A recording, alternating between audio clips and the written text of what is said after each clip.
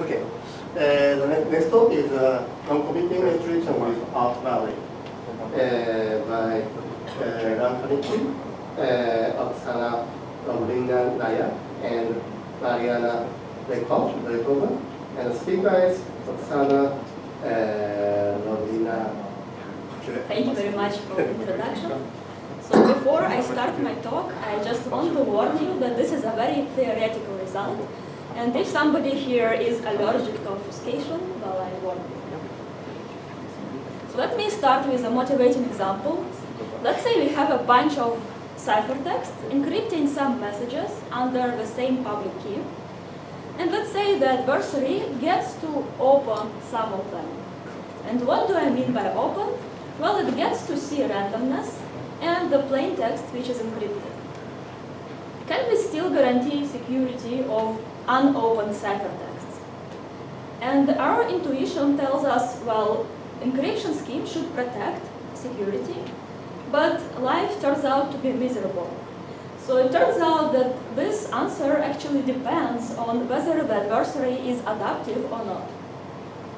So in particular, consider the static case first, where adversary has to tell beforehand, before he sees the ciphertext, whether, uh, which exactly ciphertext he is going to open.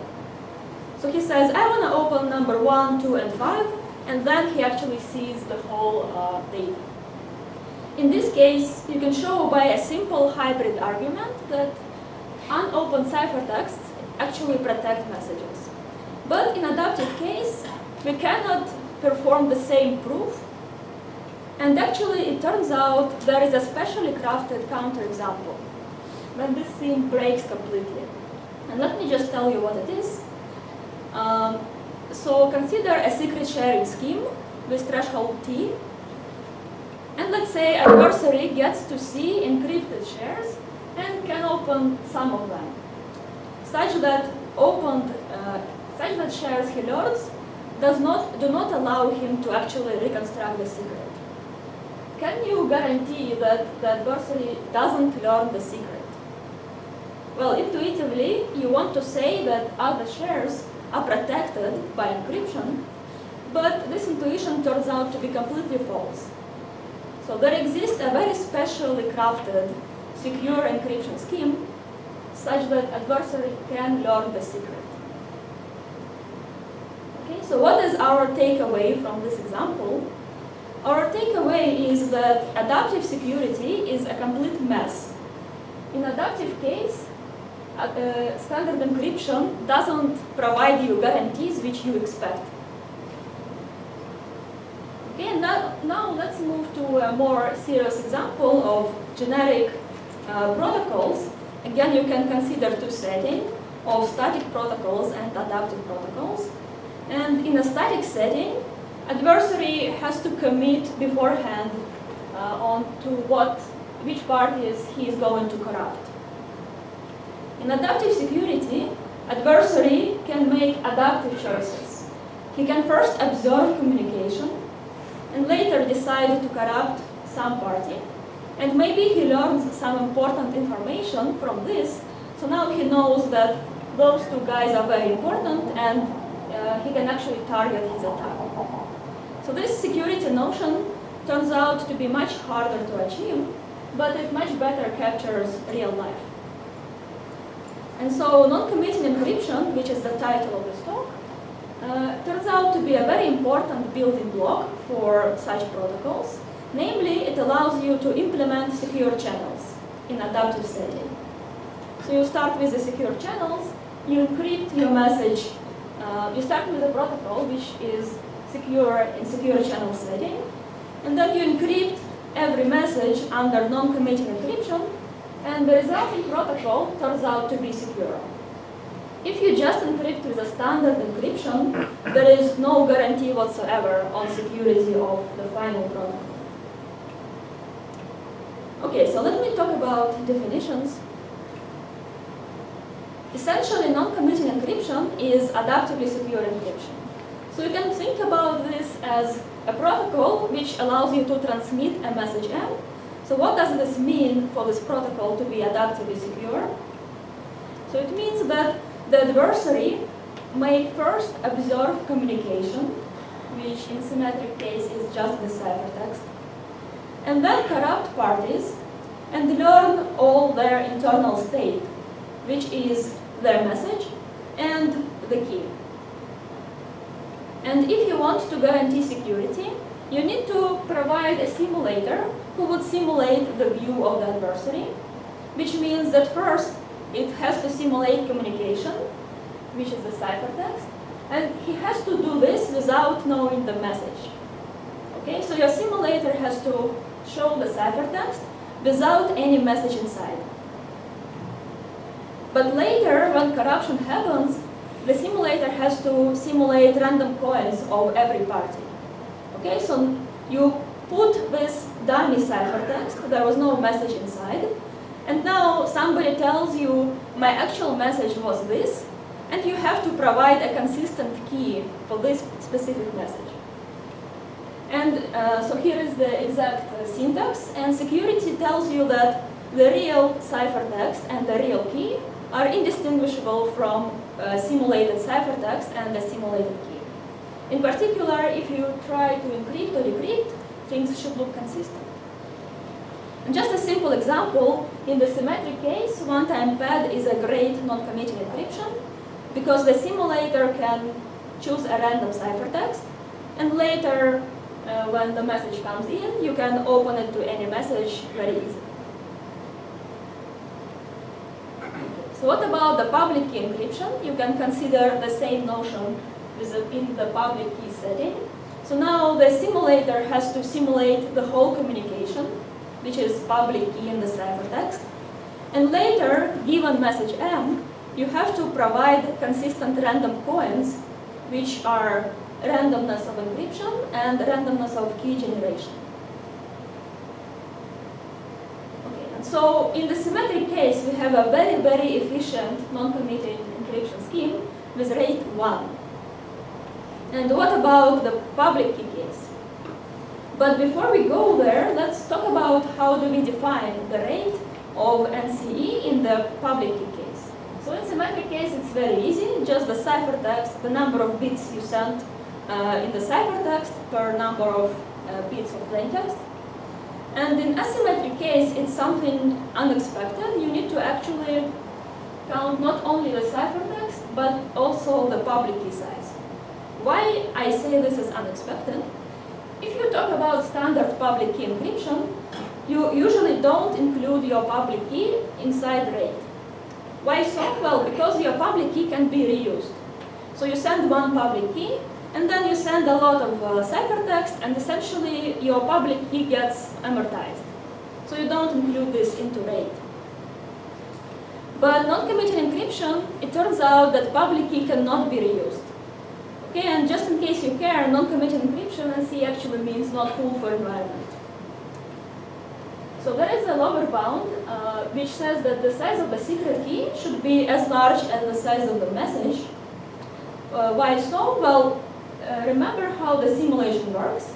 You first simulate some empty ciphertext, and then for every message there should be a corresponding secret key. So you have to have as many keys as you have messages, and basically once you set your scheme uh, with this size of the secret key, you can only send that many bits. Okay, so it makes sense to view non-committing encryption not as a public key encryption, but as a two-round protocol. If you need to send many bits, you just send out many public keys, and you get back many ciphertexts. And the rate of such thing is just the total communication over the total number of bits you send. And let's talk about some prior works.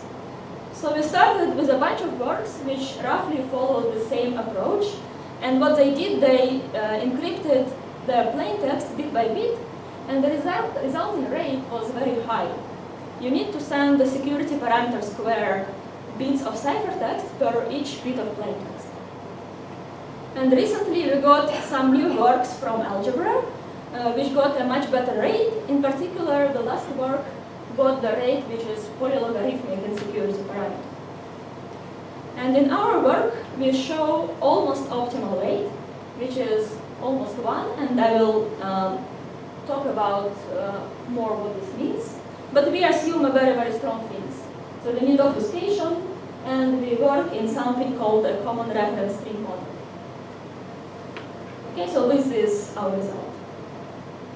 And more strictly, the theorem says that assuming IO and one-way functions, you can have NCE, which is rate, uh, which can be anywhere close to 1 in the common reference string model, and our scheme is actually the first perfectly correct information encryption. So what is a common reference string model? Basically, this is a model where both parties have access to some pre-generated string. Think about Microsoft publishing some code on its website such that every party can go and download. Uh, and let's talk about the rate in this setting. So now by rate we mean the total communication including the size of the common reference string over the number of bits you send. And why do we want to include the, the size of the CRS? Well, if your CRS allows you to send only one bit, and you need to get the new CRS every time, then you cannot really say that your rate is small, right? You need to download the whole thing every time. But luckily in our work, the CRS is reusable for any polynomial number of executions. So essentially, you get your CRS once, and then you can send your, send your bits uh, as many times as you like. So the size of the CRS gets amortized, just like in public key setting, you can amortize your public key size. Again, just more concretely, the size of a single public key in our scheme is just 2 lambda, and the size of the ciphertext is 2 lambda plus m. And so if you do computation, then you see that our rate is essentially this. So it's 1 plus something lambda over the message, and as long as your message is sufficiently large, this rate goes to 1. Basically, the bigger message you are sending, the smaller rate will be. Okay, so let's talk about the construction. So we are going to do this in two steps. First, we will build a primitive, which we call sense, and think about this as a non-committing encryption with erasures. And then we are going to bootstrap it to full non-committed encryption with constant rate. And to get constant rate at the end, we need to start with a non-committed encryption here, which has a short ciphertext. So what is this sense? Uh, it's a non-committed encryption with two additional properties. First property is that security holds only assuming erasures. So it's not a full non-committed encryption, you are actually allowed to erase some information. And which information are you allowed to erase? Uh, information you don't need. So for example, the sender doesn't need his randomness once the ciphertext is out, so you can erase that. And the receiver doesn't need his uh, randomness of key generation, so you can erase this. But he still needs his secret key. So secret key should be still there. And in particular, this is exactly what the adversary expects to see. So this is what we need to simulate. So that's one thing. And the other thing is called the same public key property. And this is a very technical property which is needed deeply inside the proof. It says that if you generate your public key from some random coins, here honestly using the real generation algorithm, and here you simulate them using the same random coins, then those two public keys are exactly the same. So usually you require just indistinguishability of real and fake public keys. So this is a stronger property. It says start with the same randomness, you get exactly the same string. So this is our sense. And we build the sense from IO and one-way functions with a very short ciphertext, which are just 2 lambda plus n. And the scheme is perfectly correct. And before I go into uh, the construction, let me just say a word about I.O. So we have several notions of obfuscations. One notion is called a black box obfuscation, which sort of tells you that you can completely hide whatever happens inside your program. But unfortunately, we don't have this notion. So we can only work with something called indistinguishability obfuscation, which says that as long as two programs are identical, your, you cannot distinguish between their obfuscated versions. So for the purpose of this talk, you can really think about black, black box obfuscation, but in the paper we need to work with I.O., and so this is the main technical challenge. Okay, so how to construct this sense? So recall this uh, symmetric key encryption from PRF, which says that to encrypt the message M, you uh, one-time pad your message with a PRF on randomness R, and you publish R and the set. And to decrypt, you do whatever you uh, expect to do. Uh, so to build a sense, we obfuscate encryption and decryption algorithm. So my public key is going to be obfuscated encryption code. And my secret key is going to be obfuscated decryption code. So what's going on in the scheme? The receiver will uh, sample some randomness and use it to create obfuscations. And once obfuscations are created, he doesn't need this randomness anymore, so he erases it. And he keeps the secret key for himself, sends out the public key. And the sender can use the public key, which is encryption program, to, on his own random coins, to encrypt the message M and send the ciphertext over. So this is basically the scheme, very simple, just obfuscate encryption and decryption. And this scheme has a very short ciphertext, so you need, uh, for some reason, you need two lambda bits for the randomness, and then the second part is just the size of the message. And it has the same public key property. Our simulator will generate exactly the same public key. Okay, so we are done with the first step. We build the sense. And now how to transform the sense into the real non-committing encryption. So here is the high-level idea. In the CRS, we will put two special programs which will help parties to sample some common parameters of underlying sense. And the receiver will, in round one, will send some very short, uh, almost random stream, T, which will, use, will, uh, which will be used by both parties to derive the same key of sense. Uh, namely, the receiver will somehow derive the secret key of sense, and the sender will somehow derive the public key of sense. And then the sender can just use this public key to encrypt his message and send it back. And receiver decrypts. So essentially, uh, the core of the scheme is underlying sense. The question is, how exactly do you perform this sampling? So a little bit more in detail, uh, those two programs, GenEnc and GenDec, will have a shared master secret key.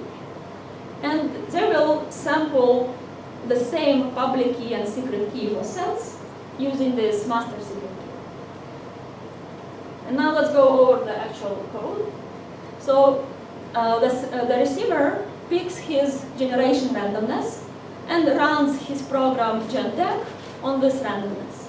And here is what happens. So first, this program applies some very special hash on this randomness and gets this short t. And remember, t is going to be uh, used to sample the common parameters. Here how we do this, we apply a PRF with master secret key on this t and get the randomness. And this randomness is actually used to sample public key and secret key offsets. And then the program outputs whatever the receiver needs to know, which is the secret key and this short. Okay, now the sender is going to pick two random strings. One is randomness for generational encryption, and he will run his GenEnc program on this randomness. And the t he got in round one. Uh, so this program will run the same PRF with the same secret key on the same T. And not surprisingly, it will get exactly the same randomness R as the other program. And then it will sample exactly the same public key and the secret key of sense. After this, it will output the public key, but not the actual public key, but obfuscation of this public key. So why do we need obfuscation here? Well, this is somewhat technical, and you need to look at the proof to understand. So once he knows obfuscated public key, he can pick his random coins of encryption and run uh, encryption algorithm, output the ciphertext, and the receiver can decrypt. So this is the scheme. And you can check that it has all properties we need. It is as correct as the underlying NCE. Uh, it is secure because essentially uh, remember that underlying NCE was only secure under erasures. Okay? So you had to erase your key generation randomness R from the whole picture. Here it's present, but it's sort of sitting deeply inside the problems. So nobody actually knows this key generation randomness, including parties. Only problems know it. So that's why, very roughly, why uh, you can reduce security to uh, security of underlying sense. And finally, the communication size is very short, small. You send just the T, which is size of 2 lambda, and you send the underlying ciphertext of uh, sense, which we uh, built to be very short. Okay, let me uh, summarize. So we build a rate 1 public key NCE.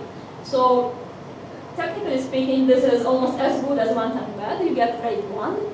Uh, but of course, this is very, very impractical because in our scheme, we have to use triple nested obfuscations.